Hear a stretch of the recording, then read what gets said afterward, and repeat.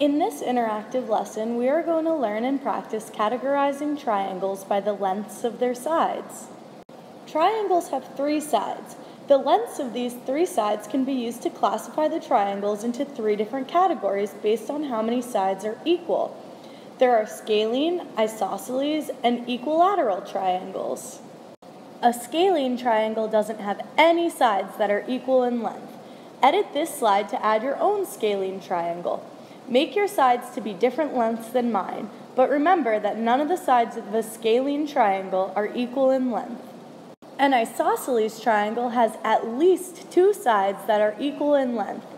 Edit this slide to draw your own isosceles triangle. Remember that a triangle has three sides, and to make it isosceles, two of these sides must be equal in length.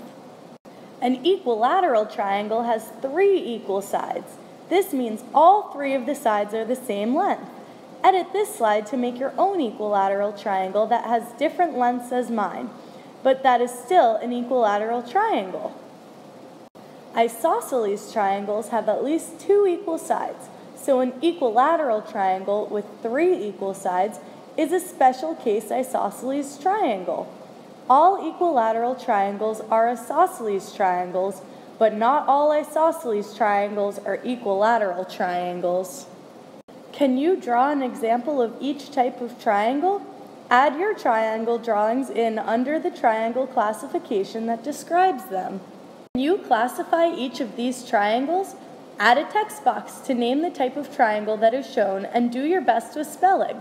By now, you should be a pro with classifying triangles by the lengths of their sides. This is the published form of this interactive video lesson.